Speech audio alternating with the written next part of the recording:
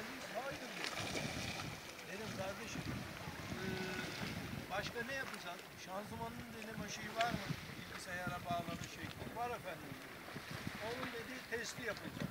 100 kilometre yol yapmış. Akşam sabah bana bunu söyleyen şey servis. Akşam dedi şanzımanda dedi bir sıkıntı var. E, şanzımanda bilgisayara bağlanmış. Şanzımanda bir dalgalanma